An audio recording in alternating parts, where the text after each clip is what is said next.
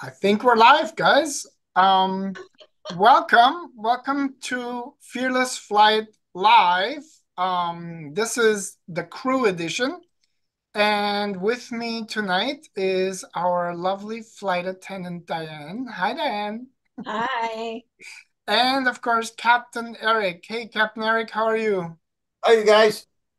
Um, so every third Tuesday of the month, at least that's the schedule that we're following. We have our crew edition where um, the three of us come and talk about aviation news and uh, questions that we're getting um, that we don't usually get to during our regular show. So if you're just tuning in, uh, Fearless Flight Live, our weekly live show where if you're afraid to fly or you know somebody who's afraid to fly, um, hopefully finds uh, inspiring and supportive information to help you get over your fear of flying. So um, let me just um, say this. There's a lot of talk about um, the 737 MAX 9. Um, for those of you who don't know, that is the one um, where the door, uh, yeah, just disappeared mid-flight.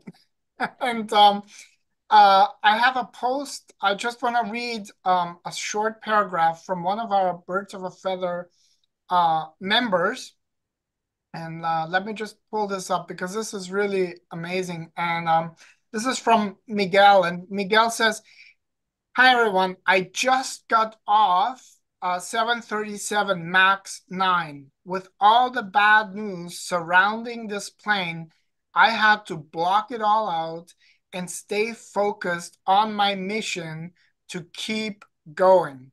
And uh, that's in all caps, by the way. Um, he said FAA cleared the plane and Boeing instituted a fix. And and I'm here in Mexico City having the time of my life. Three years ago, this would not have been possible. I have packed my life with flights, flights, and more flights. the only way to overcome this is to fly. So my advice is stay off negative news, stay off Tubry, and we talked about Tubry um, last week. Um, stay engaged here. So that's the Bird of a Feather Facebook group, as well as our weekly live show, and just keep going. I'll be uploading videos um, soon of my flight, and please uh, consider watching as I'm doing this to support you. We all got this. And I just want to say this is super inspiring and um, lots and lots of people uh, like like the post um, because it really speaks to the heart of what fear of flying and how you can overcome it is all about. It's it's not about the plane, whether it's the Max 9 or, you know, um, some other plane. It's really about the pain in your brain. And that is the key. Um, and if you don't believe us, watch, I think two weeks ago, we did uh, Arnold with a show with Arnold Barnett, um, an MIT professor and statistician and um, if you are an American and watching this, you have a better chance to become the next president. So then uh, be injured or die in a in a plane crash. So that's pretty crazy. Not but, only, I hate to interrupt you, but not only become the president, but what else? And win an Olympic gold medal. At the same time. Win the gold medal and be elected president. You have a better chance of doing that than dying in a plane crash. Yeah. Wow. Okay. Sounds like the odds are pretty good. Sounds like sounds like the odds are pretty good. Pretty However, good. and I want to lead into what you're gonna talk to us about, Captain Eric, tonight. Um, not everything always works exactly as planned. And what you're going to be talking about um, today is missed approaches and go arounds. So what are they and um, what can you tell us about those things? And let me know when you want the slide up there. Okay. So we never talk about this stuff with you guys, and I just wanted to bring it up because you think of lots of stuff we don't think of. So I just wanted to go over this quickly to alleviate any doubt in your mind or possibly answer questions. And and the theoretical is here. I, I heard from a, a person who was afraid to fly, and it's funny you guys get out there and doing stuff and go, oh boy, I haven't I haven't experienced a go around or something forever, and they'll be off on a flight and it happens. And that is when you've conquered all your fears and got on the airplane and you're almost to the destination, you can see the terminal literally from the airplane windows, and the airplane is just about to land. And then in the last few seconds of flight, the pilots power up and launch back off into the sky.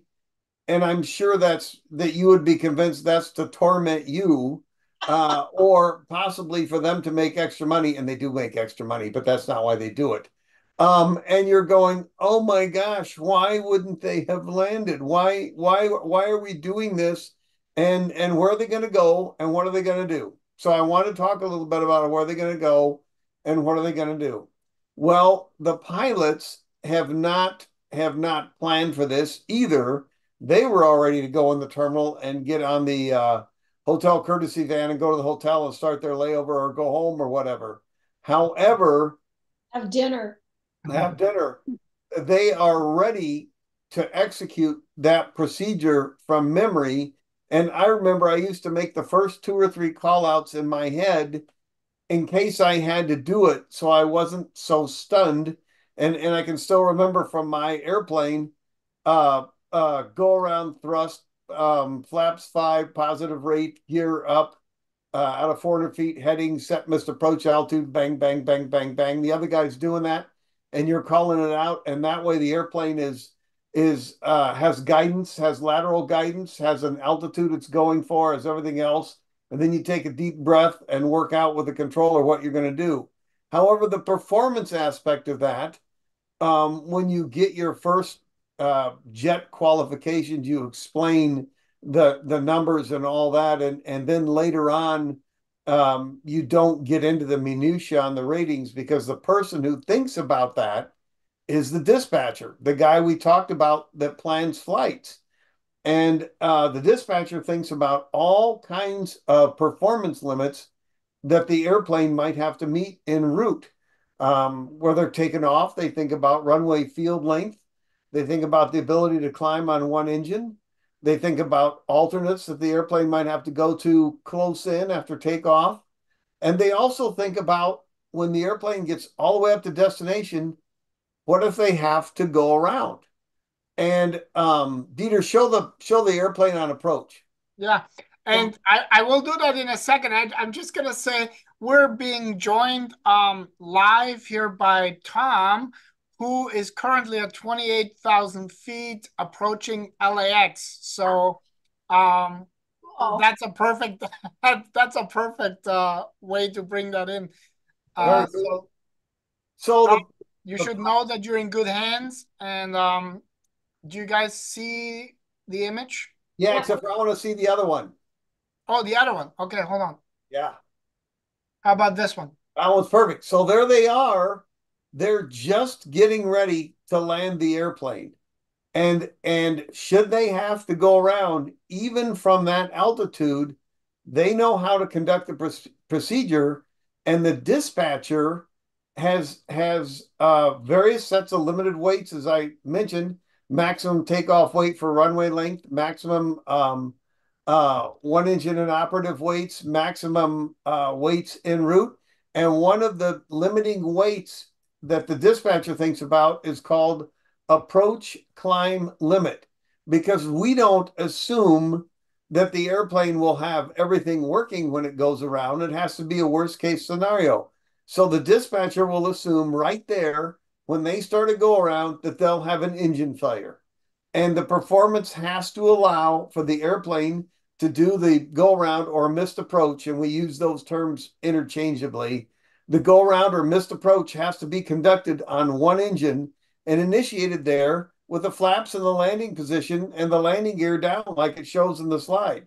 So it's it's coming out of a very low altitude when it starts that maneuver, and the airplane weight uh, must be such that it can meet various single engine uh, performance climb requirements, both of the flaps and the gear down, and then after the flaps and the gear come up on the missed approach, um, it has to it has to meet these single engine um, these single engine performance requirements. Now, obviously, this airplane is in the air and it's flying and it has speed and energy, so it doesn't have to accelerate much.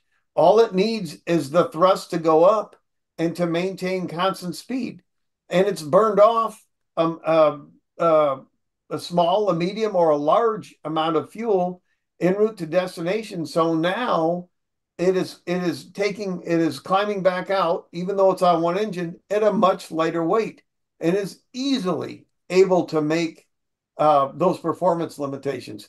Uh, Dieter, go back to the airplane sitting on the runway. All right, let me.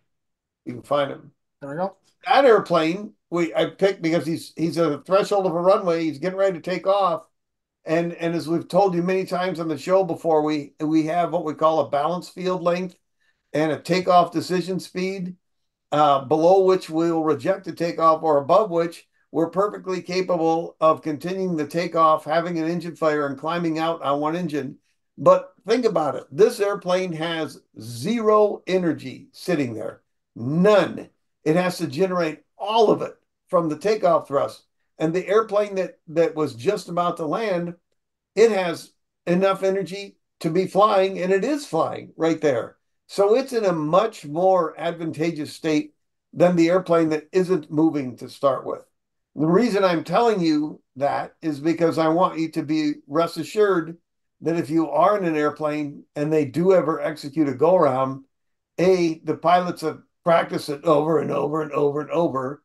And and B, the uh, airplane is in a, a very good energy state to be able to be able to make that maneuver um, on one engine or two engines.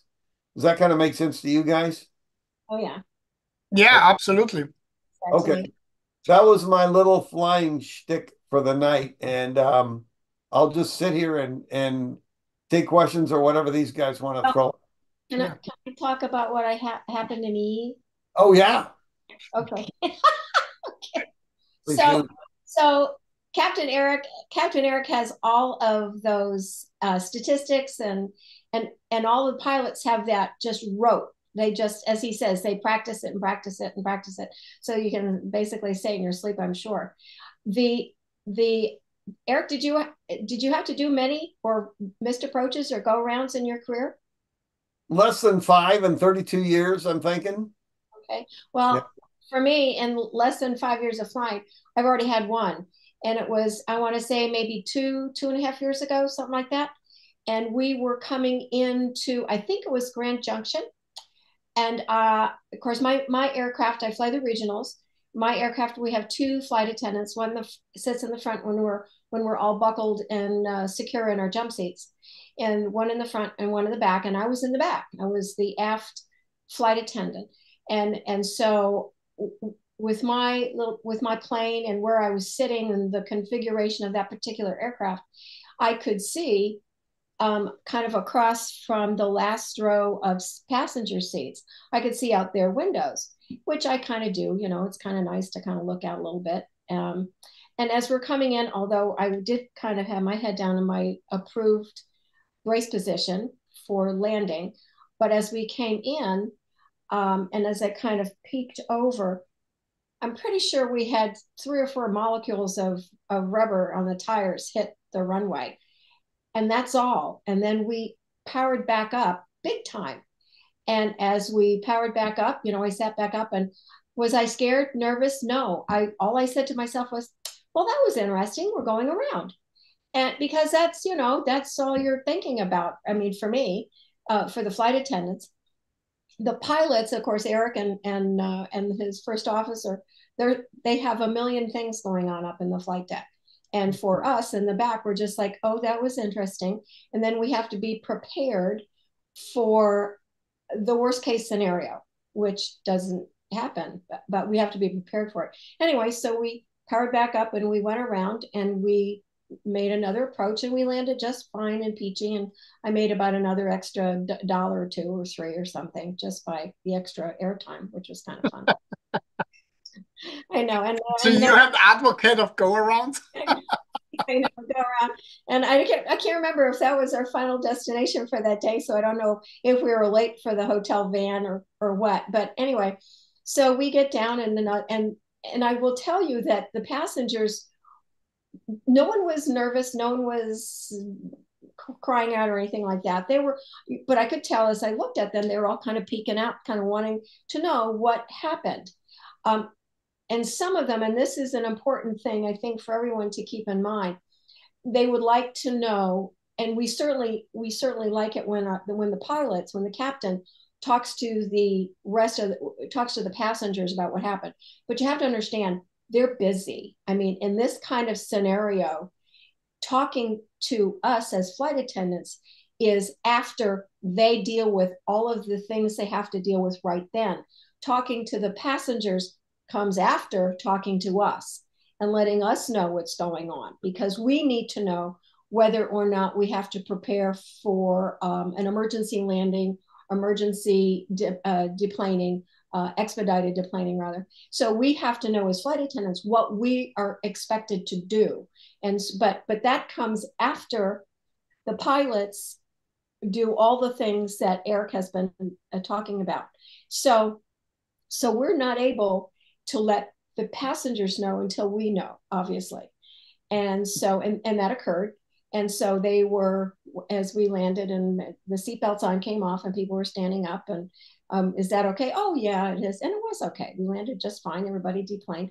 And come to find out, um, now Eric mentioned, you know, if there's a if there's a problem. I mean, Eric, you probably I don't know what the reasons were for your missed approaches, but as it turned out, what we found out later, as we were coming into the airport, there was an operations truck, an ops truck at the far end of the runway.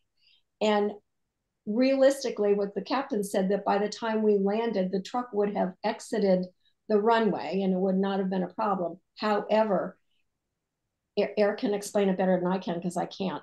Uh, what the what the FAA and and the requirements are, so that be, because the truck was still crossing the end of the runway, we were not allowed to land.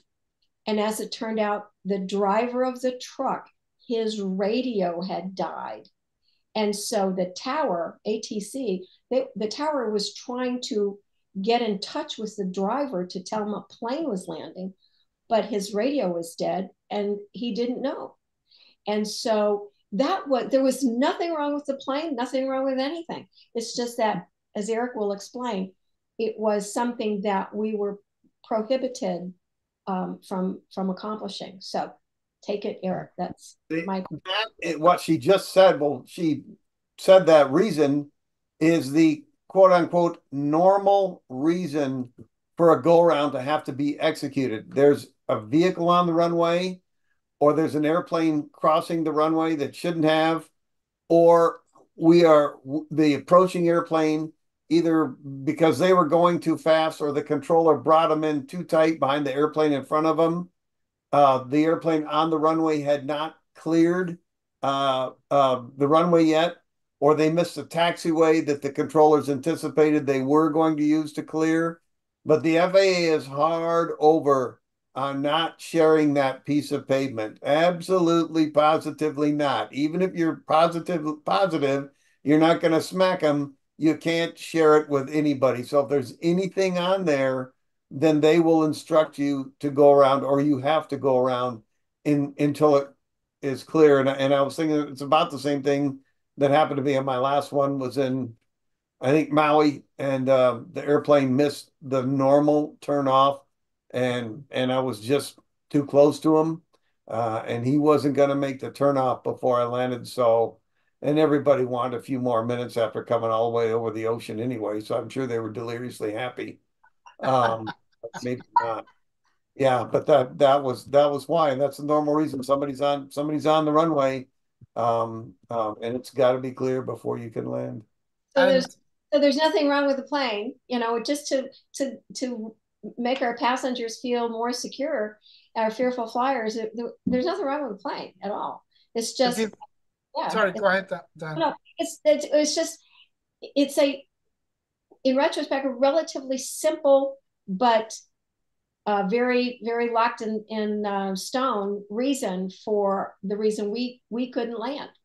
So, well, we um up here in um in Canada just a couple weeks ago, we actually had an Air Canada flight um from Toronto going to St. John's, Newfoundland, and it was an overnight. Um, and what happened was um blizzard conditions at the um, Newfoundland airport, and the Air Canada plane actually tried to land three times and oh. couldn't. So the only thing that they could do was fly all the way back to um, Toronto. So, um, you know, sometimes in these, you know, um, uh, wintry conditions and out of an abundance of caution, um, those parameters, you know, so they had to turn around and, um, go all the way back home. And, and it's funny because um, what I I read was that a couple of the passengers were vocal and said, "Oh, we should have tried another time." And you know, so I guess you know, yes, it's obviously inconvenient, and you probably had something scheduled and you had to go, but but there's really very very clear limits on you know what can and should be done. And and I actually was in a um, go around myself although I'm not sure that, that that really counts because it was a DC-3 plane in Antarctica and we were landing on a blue ice field. And um, uh, the visibility was such that um, there were, were these snow like squalls and um so we were trying twice and landed the third landed on the third try. So um just the visibility was such that you know we just had to wait until the pilot could see enough of the the blue ice field um but yeah. Everything's white. Um here's a question that i don't actually have um or don't know the answer. Um, Katie is asking, can you use a VR headset while a passenger? And that's a very um, timely question because the Apple Vision Pro just came out, and and I've seen all sorts of um, uh, um, you know, little reviews about that VR headset. Um, but do you guys know, like Diane, what if somebody sits with these weird looking ski goggles um, on a on a plane. Can you actually? Is there regulation around it? Not that I'm aware of. Um, you can. I mean, you can. You know, watch movies. You can listen to music. You can do all kinds of things um, on your uh, own devices. Um, as long as you're not in airplane mode, as long as whatever device you're using is not able to to send and to receive um, that kind of transmission. To my knowledge, uh, I, I hadn't um, hadn't even really thought about it. I've seen a review of someone on the plane, so I'm gonna say it's not a handheld device because it's right. actually strapped. Right. Yeah, yeah. Well, as so, long as again, as long as the um, as long as the device is not in in a transmission in a transmitting mode, mm. uh, such as a cell phone, then I would think it'd be okay. I haven't seen the airlines address it at all yet either, but but I would think they would, especially for takeoff and landing phase, in mm-hmm. case there's an emergency, in case you had to evacuate, which is highly remote. But if the the guy or gal on the on the VR goggles is engaged in an unbelievable mountain biking race, they're they're going to be totally removed from from what's actually going on around them and and i would think that the that the airlines would put their foot down on it but but i haven't seen anything on on guidance in that regard yet either well i mean the apple vision I think is about three and a half thousand. So I don't think we'll see them pop up quite as quickly.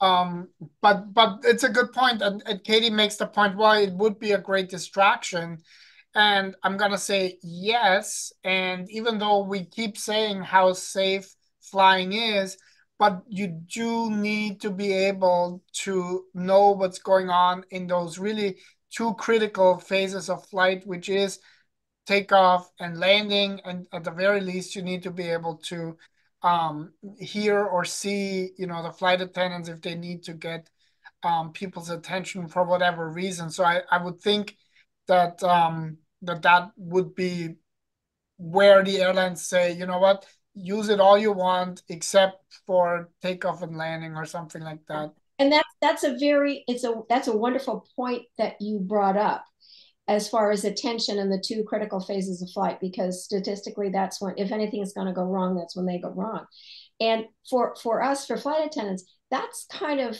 um, a real nagging concern that that we have that unfortunately or fortunately the airlines themselves it may be a policy decision. There's nothing that is um, that i'm aware of at all as far as an FAA requirement with regard to earbuds or or any kinds of we were talking about the VR goggles. Uh, the the restrictions for the exit row passengers are, are very standard across the board with the airlines. Uh, but as far as the attention going, that that irks me. And and all of my my peers with regard to passengers as soon as they get on the plane or even as they're boarding they have headphones in they have earbuds they have everything. And and it's it goes beyond it goes beyond whether you say would you like uh, diet coke regular coke ginger ale something? And they're in la la land. They really are. And then and then of course you get yelled at because you go by them because they didn't hear you and say oh you didn't get me anything. So so on that that's a real simple end of the scale. But at the other end of the scale i've had to deal with passengers in the exit row who mm-hmm. have earbuds in and they have they have they're they're watching something or listening to music on their phone and we're required by the FAA to give a specific briefings. I mean, verbatim. We have to do it verbatim. Have you reviewed the passenger safety card? Are you still willing and able to assist in the event of an emergency? I need a verbal yes or no. I mean, we have to. Every single airline, every single flight attendant has to say the very same thing. And and I've had to stand there sometimes looking at a passenger who is oblivious to the fact we have to. I'm asking this question. So to add insult to injury, I mean, that drive me over the edge. Um, I, don't, I, don't, know. I would hope that my airline would have a policy with regard to that, but well, I tell you what. Well, um, I'm sure it'll come up sooner or later. Um, yeah, and, and, and Katie, you're not the only one.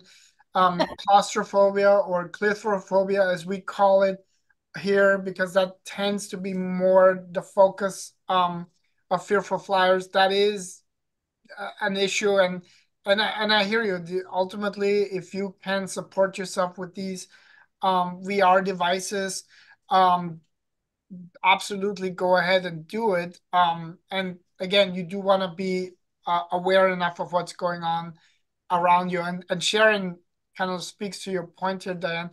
It always drives me crazy when people don't listen to the instructions from the flight attendant. It's a matter of respect. When someone is speaking to you, you should listen I get it all the time. I'm a high school principal. Oh, I, you know what? I, I, and I couldn't agree more because at the very least, here here's the re- we, we were joking all the time how how safe it is, um, but it is a matter of respect. And and you guys, um, speaking to you, Dan, you you are there really for our safety and and not everybody flies a whole lot. So um, there is a matter of respect involved, you know, in, in, in terms of, you know, just allowing you to do your job and, and, and also feel feel good about the fact that um, you care about your job and I'm gonna, you know, be the benefit of you doing your job really well. So um I've had I had and and and respect and that's true. It really is true. I mean we do have the sense that some people think that we're just up there um, pouring coke. And and and certainly that's what they see us do. Percentage of the flight that's what we're doing most of the time. But i just just to a, a cute little vignette we have um, like most airplanes the aisle seats the armrests come up you know but there's a little button or a lever and it depends on the plane and even on my planes i have a couple different kinds and I was uh, was walking down the aisle one time, and this this woman, these two ladies were sitting together, and she was trying very hard to get the armrest up and was not able to. And I said, "Oh, ma'am, just a minute, let me help you with that." And I ding ding ding, and I put the armrest up, and she looked at me, she said, "Oh my goodness, that's so wonderful of you." And I looked at her, and I said, "And you just thought I was here to keep you alive." And mm-hmm. I said that loud enough because it's not just those ladies but it's everybody sitting around to remind them we're there to keep you alive. I mean, if I get just soda and a Biscoff cookie, I'm thrilled. And I answer any question you have, I'm thrilled. But that's why we're on the plane is to keep to keep you alive. Um, and I just wanna John has a question that I'm also I don't think there's a way for the crew or anybody to check whether or not um, someone is in airplane mode or not. Um, but I'm also going to say ultimately, because that's the other side here, the fear is that somehow it could interfere with the plane. So, Eric, I, I do want you to quickly speak to. So, for those people who are rebels, don't care, forget about it, whatever, it doesn't actually make the flight any more unsafe, correct?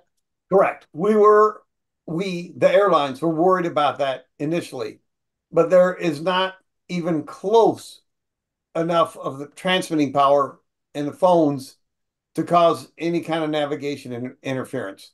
The worries with the cell with the cell stuff is having transmitting towers near the airports and particularly near the facilities transmitting uh, uh, instrument landing signals to the airplane on the ground.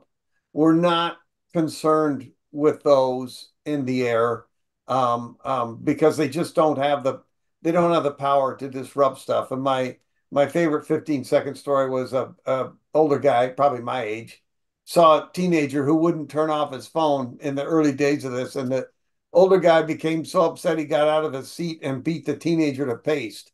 And and it's probably never a bad time to not get out of your seat and beat a teenager to paste. But his phone was not going to cause any navigational signal interruption.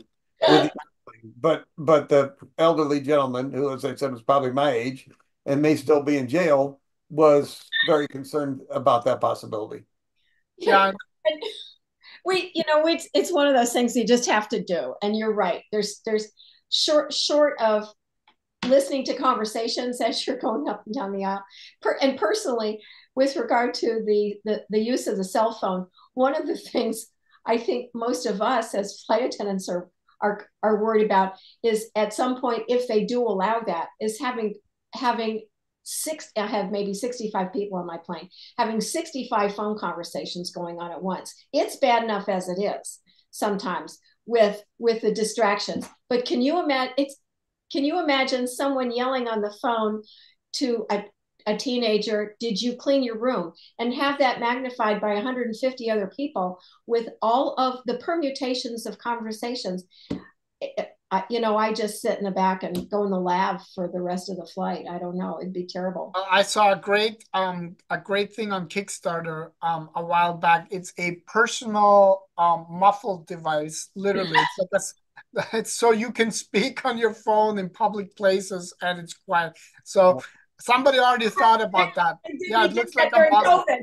Yeah, it looks like a muzzle. It didn't work then either. I'm just saying. Well, the, and the main concern from you, the user, just thinking about yourself, not the safety aspect, is and if you can plug the plane, uh, the cell phone in the plane, well, great. But if you can't, and you leave the thing in air in in normal mode, as the airplane flies along at eight miles per minute, it keeps trying to attach unsuccessfully to towers and skips and skips and skips and skips and tries to attach, and you'll show up at wherever you're going, and your battery will be dead.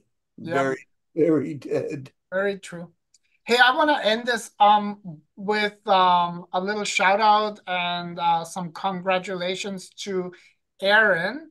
Um, Erin said she just got back yesterday and she didn't really prefer that both of her flights were bumpy. Um, think she says too bumpy. Um, but she did say that uh, the captain on her last flight was really amazing. Um, so he would actually have even you know the flight attendants. I guess she she followed what we always um, teach you guys, and that is introduce yourself to the flight attendants and to the captain if possible. Let them know you're a human being, and um, you know, more importantly, you get to know that they're human beings and that they care not just about you, but their own health and their own well being and their families, and they want to go home and see them. And um, she said that uh, the flight attendants uh, checked on her, see she uh, how she was doing, um, and I guess he even made an announcement that uh, he said we have a fearful flyer on board, and I also want to let everyone know that we'll be hitting lots of bumps. So we asked the flight attendants to sit down early, and he also said, "I just wanted to let the fearful flyer know." Um, and everything will be okay. So that's that's kind of cool, and that's what happens when you make the effort, you have the courage um, to ask to pre-board. Um, you know, um, under the Americans with Disability Act, you have that right as a fearful flyer, and um, it's very cool. So thanks for sharing that, Erin. I really appreciate it. Um, any last words? yeah tell just remind everybody about this this weekend about saturday in burbank oh the um oh in that that will be march right um so that is um, i'm now no, this weekend oh, no this weekend this saturday saturday we're going to Bur- we're going to burbank to oh right there's um yes. not sure if um, if you are in the LA area or you can make it to the LA area, on February 24th, so this Saturday, mm-hmm. um, we have our flight with Captain Ron, Captain Eric, and flight attendant Diane going from Burbank to San, uh, where Sac- is it? Sacramento. Sacramento. Um, I was thinking San Diego, but no, Sacramento. And so if um, I did see that Southwest is still uh, having fare sales. So if you're thinking about it, check it out. I'll put the link in the comments.